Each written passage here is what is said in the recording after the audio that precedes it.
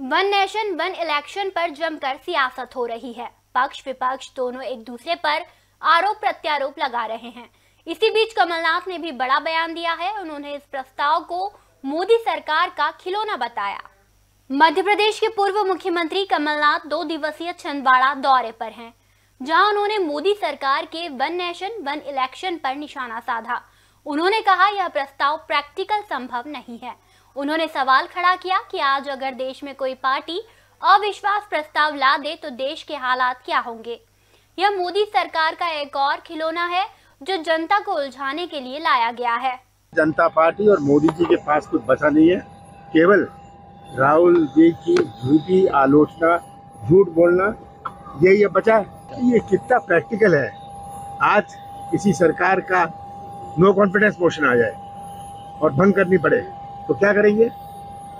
तो तो ये इम्प्रैक्टिकल बात है। मोदी जी का एक और ये खिलौना है सबको उलझाने के लिए।